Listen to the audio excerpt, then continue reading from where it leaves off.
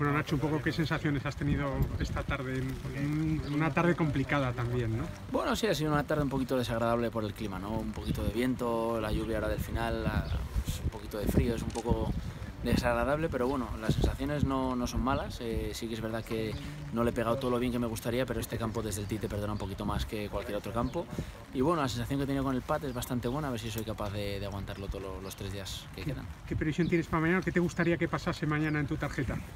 ¿Qué me gustaría? Bueno, muchos rojos, muchos rojos. Bueno, obviamente no sé, no voy con ninguna predisposición, voy con ganas, como he dicho, de disfrutar, de, disfrutar de la gente que está siguiendo, del Open de España y nada, a ver qué, nos depara. Oye, dale, dale, el, el pad, ¿no? Has, citado al pad que está siendo un poco tu poco pesadilla incluso en este principio de temporada. Sí, sí, estas cinco semanas desde luego que le, he metido mucha caña, he trabajado duro y, y bueno, hoy bueno, un poquito mejor de, lo que he jugado, de lo que he pateado las primeras semanas de, de, este año, desde luego. Me ha ayudado un poquito todo el trabajo que he hecho de, fuerza, sobre todo, estaba un poco mal con la fuerza y al trabajar la fuerza pues me ha ayudado a bater un poquito mejor.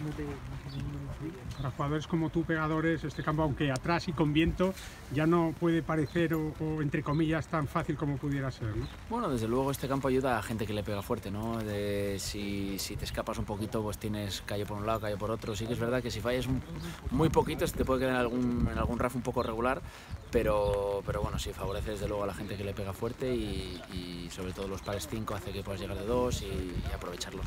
Nacho, ¿tienes la sensación de que hay que hacer algo así como 5 menos cada día para estar por la victoria?